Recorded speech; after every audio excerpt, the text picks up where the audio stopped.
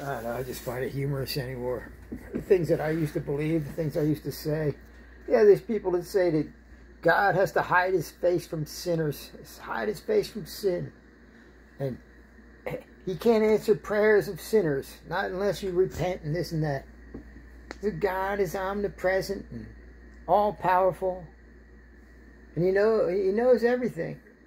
But he has to hide his face from sin. And lust too. But yet he could he could talk to Satan himself in the Old Testament and ask him, Hey, so where you where you been, Satan? And, and you know, in Job, you do read your Bibles, right?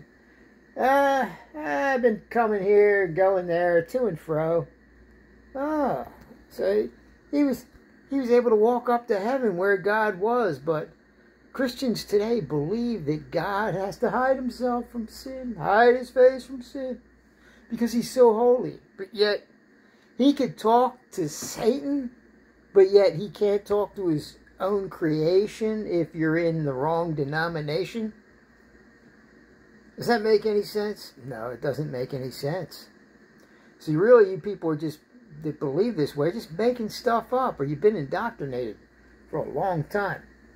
And, and that evolves too. That's an evolution of indoctrination. You know what I always say? May the pickle jars of indoctrination be broken. Yes, may you escape from the pickle jars. You be able to think for yourself. Yeah, I know it says, lean not on your own understanding.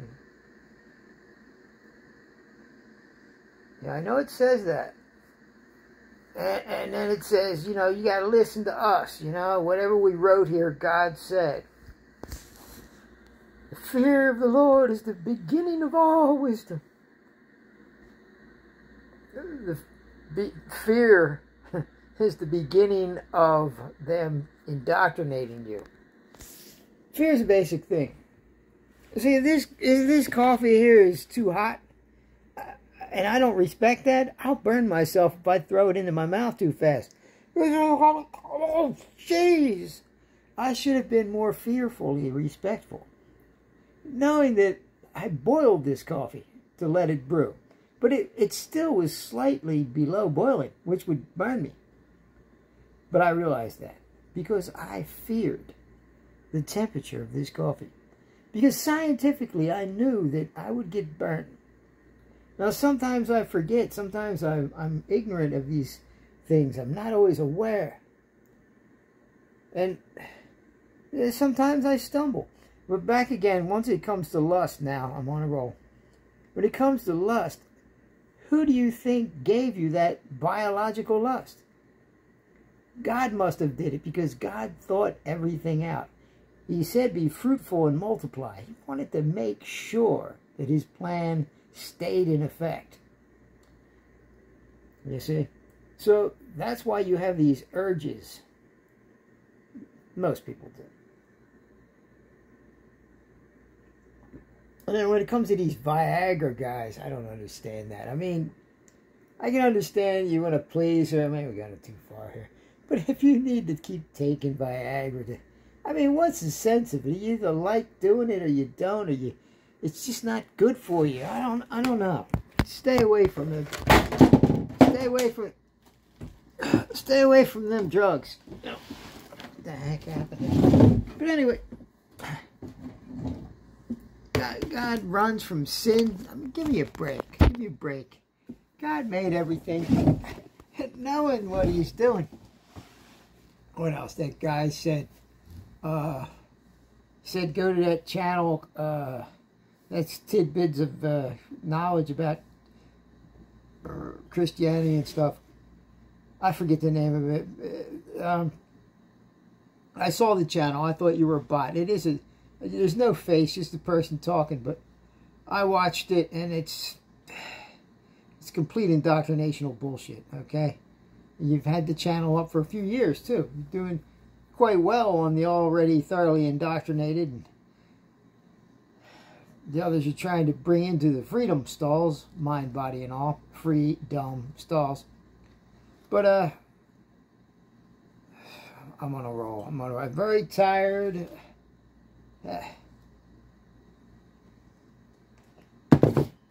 But you got you people got to realize. Do you know what Moses did in the book of Leviticus? You probably haven't even read Leviticus. Could you imagine if the church, just like communion, they reenacted Leviticus? They did the things in Leviticus just like you do the communion, the the grape juice, and the little wafer, the nugget, or the cracker. And uh, what if they reenacted Leviticus and, uh, you know, Moses? Do you know what Moses did? How he first made the priests with Aaron and Aaron's sons? He he gave them baths. Oh, that's a representation representation of Jesus bathing us and washing us of our sin. Yes, you could say that if you want to. There's many games you can play with the scriptures. After all, it's multiple choice. Seek and find, and you will lose your mind. But anyway, Moses gave these guys baths. He convinced them that they would be priests. He'll, he'll just let me bathe you guys. And then he put curious, read your scriptures, read your, read your scriptures. He put curious girdles and bonnets on them. Isn't that nice? Now, a lot of people, you know, they're, they're not, they don't like the, uh, what do they call them people, uh, LGBTDP, Z, Y, G, folks. Transcendental mentators. A lot of people don't like them.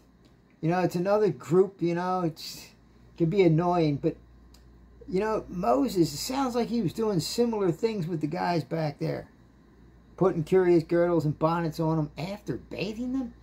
And and then he, while they were dressed like this, he had them, I need you to smite these bullocks and goats. Take a bullock, Aaron, and smite it. So they cut its throat with a knife, I would imagine, because the Bible doesn't say how it's done. But they drained blood out of it, so that most likely most of these cults back then, blood, blood cults, and even of today, they cut the animal's throat because that's the easiest part to get the blood out. Put it in a bowl, Aaron. Give me the bowl of blood. And uh, then he dipped his finger in the bowl of blood and put blood on the right ear of Aaron, blood on the right big toe of Aaron, blood on the right thumb of Aaron. And he did the same thing to, to his sons. Then, then he he, he had the goat leg wave offering, see? Now he made the priest. Now the priest, Moses did it too. The priest take this, the goat leg, if they killed the goat, they, they waved it to God, said, and it's called a wave offering. And you can imagine why it's called a wave offering. Because they were waving it to God, this bloody goat leg. Look, God, do you see us? Are you pleased with us? We're waving the bloody goat leg at you. Yes, you can read this in Leviticus. And if you don't think this is plain old good old-fashioned superstition, then there's something wrong with you. But, of course, you've molded it into the candy-coated blood guilt cult because Jesus smoothed everything all out. And now you all have to do is drink a little grape juice and take a cracker once a month and um, walk forward, rededicate your life unto the Lord, uh, go to a tent meeting like I used to do and have a revival service, you know, when you fell into lustful sins, you know, looking at girls and stuff, even though you weren't allowed to be gay, but you couldn't look at girls either. It was, it was very tough times, very tough times. Especially when you're 15, 16 years old. Yeah, especially you go into a soul meeting every Tuesday night, soul meeting, Wednesday night, prayer meeting, uh, Sunday, Saturday, setting up the church, turning a school into a church, then turning it back into a school again. Going to church on Sunday and Sunday night. That's five days a week I was in church. If you count Sunday morning and Sunday night. So then, then you end up sinning, you know, in the afternoon or something. You sin before you go back to church somehow. And, and, and, and you know, then you got to be asked to so, uh, Dave, will you, Dave Jr., will you please lead us all in prayer? Oh, damn, he picked me. My face is turning already. Oh, damn, I had those lustful thoughts this afternoon. Yeah, and, and, but then I realized, you know, 40 plus years later, God programmed all this. If, you know, God exists. Oh, what do you mean if God exists? How do you know seven gods didn't didn't make us all? Why is it one? Is it because what you were taught in the Holy Scriptures? The Holy Rolling Scriptures?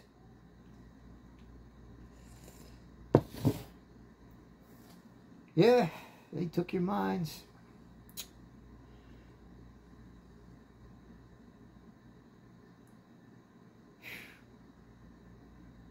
That's that's all I can think of right now. But anyway, um, oh, somebody said science. Uh, how about if we just, you know, push the Bible aside for a little bit? Do you really think that science is is going to prove, uh, you know, the Big Bang and all that cosmic? They didn't say that. They said is science going to prove how the world was made or something like that? That doesn't matter. How about if human beings you act instinctively as a human being with common sense? And by the way, science is a tool, very valuable tool. But it don't give a damn about a fool. And there are a lot of fools out there in the atheist community also. Atheists, religious, and so-called skeptics, all of your minds have become septic. Sometimes it's good to hear another point of view. You just might find out you were being fed poo. Yeah. You are the experiment. No need for worriment. Now, you bought the lie for four straight years, some of you.